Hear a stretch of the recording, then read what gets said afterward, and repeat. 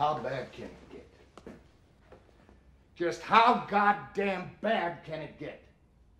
This is by far the worst team that has ever sat in this locker room. You son of a bitches! You don't deserve a locker room.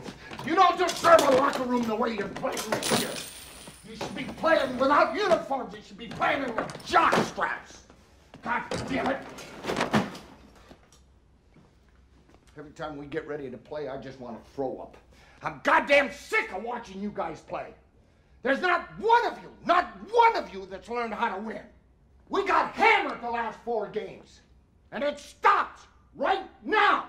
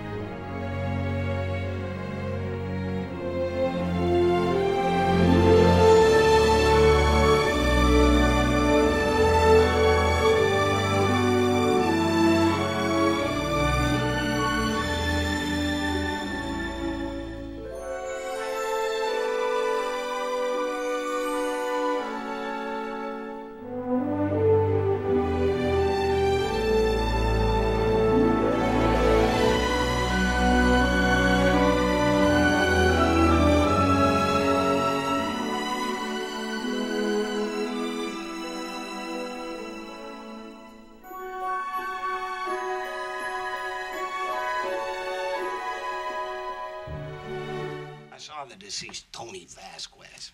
Oh, he's known to me as Tony from previous encounters. So I said, uh, Tony, come here. I want to talk to you. Or words to that effect. No, I, don't expect nothing, see? You know, I'm nonchalant. So Tony comes over, and we talk. And uh, I no sooner say the words to Tony, I say, Julio Sorete. Oh, he goes crazy. He starts screaming at me. Yeah, I'll kill you, you motherfucker. Or words to that effect. I, I, don't mind saying that. I was scared because this Tony guy, he's known as a shooter, see? So I saw him reach. I saw a flash of metal. And in fear of my life, I drew my gun.